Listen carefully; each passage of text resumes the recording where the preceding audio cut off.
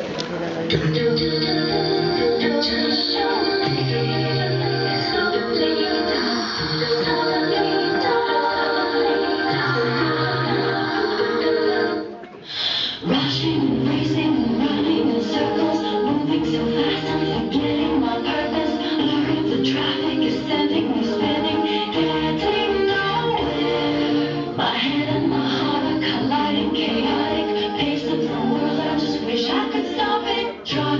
Appear like I've got it together.